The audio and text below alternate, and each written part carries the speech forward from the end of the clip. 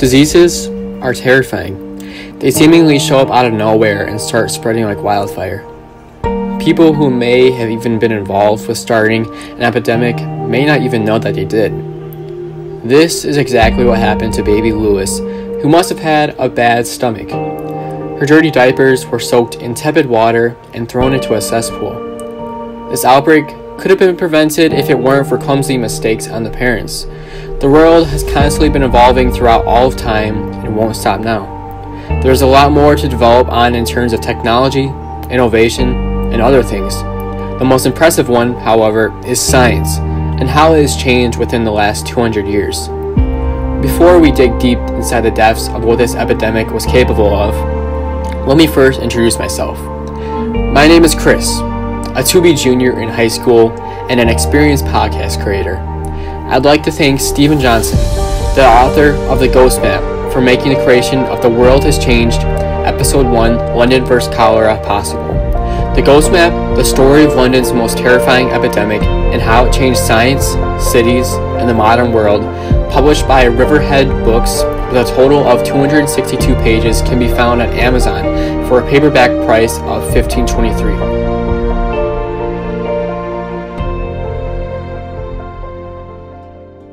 The story of how cholera came around is a long one and too much to summarize in one podcast. This is why I highly suggest you go read the novel after listening to this to gain the whole picture of the journey. This book is like a roller coaster in terms of the events that play out. At one point, the epidemic goes away but comes back again only a few years later. Also, the way that science and research are interpreted by the government can be frustrating as a reader. The positive part about this is that the reader will be on the side of that research with a man by the name of John Snow. A description from page 58 states John Snow was in his 42nd year, and since his early 30s, he had by any measure enjoyed a remarkable streak of professional achievement.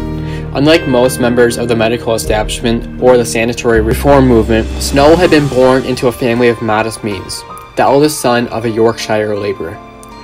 Have you ever wondered about the process it takes to track down a disease? I know I have, which makes me feel satisfied that I read this book.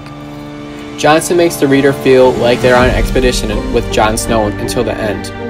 At one point in the story, the author starts talking about the process of surgery in the 1800s and gives a really interesting description of what it was like. On page 62, Johnson states, where sheer physical brutality was concerned, there was little in Victorian society that rivaled the professional medical act of surgery.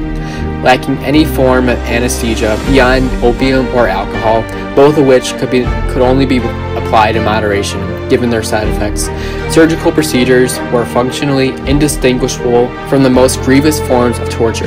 This part alone would have me terrified as a person living in that period. Steven Johnson is an influential writer who has written books like Where Good Ideas Come From, The Natural History of Innovation, and Everything is Bad for You. Johnson's work on innovation even inspired the Emmy nominated six part series on PBS, How We Got to Now with Steven Johnson. Johnson is just a person who wants to impact the world greatly and share his studies and ideas as a nonfiction author. A quote from the Washington Post states Johnson is a clear, lively writer with an aversion to jargon and knack for crafting offbeat analogies.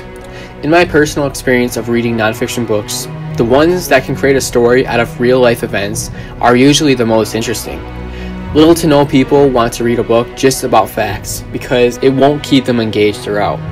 The story is easy to follow along, and the reader is more likely to finish the book due to the suspense of wanting more.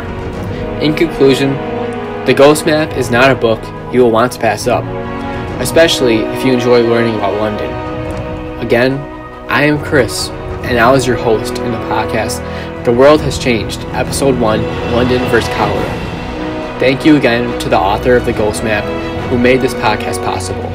And thank you for taking the time to listen and learn about this book and my thoughts on it. I hope you all enjoy and remember to stay clear of disease.